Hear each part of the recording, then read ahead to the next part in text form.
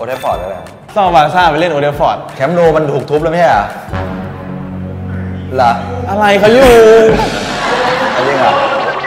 โอ้โหโอเดลฟอร์ดครับก็ได้แชมป์ยาสวยบ่อยครับแล้วหลังท่าเรือเล่นเสมอแหละเดวิดเบคแฮมครับยิงฟรีคิกดีหล่อเท่ดาวคัมบินอะ โรนัลดินโยครับผม ชอบมาตั้งแต่เด็กแล้วครับ แล้วบังเอิญแบบหน้า